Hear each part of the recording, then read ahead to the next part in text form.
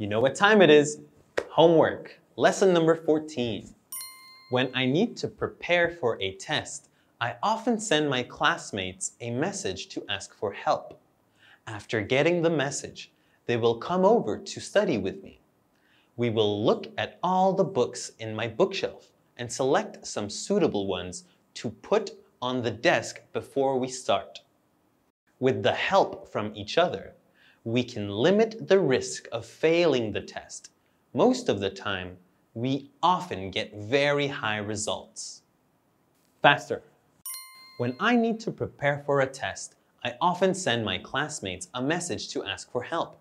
After getting the message, they will come over to study with me. We will look at all the books in my bookshelf and select some suitable ones to put on the desk before we start.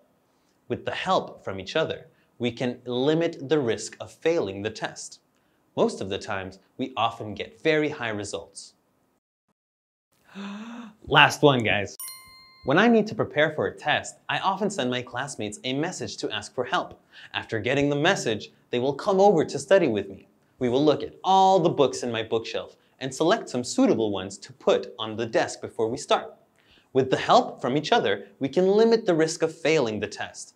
Most of the times, we often get very high results.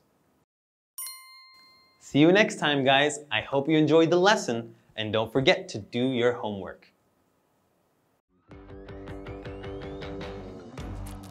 My... Yay! Did I make the deal?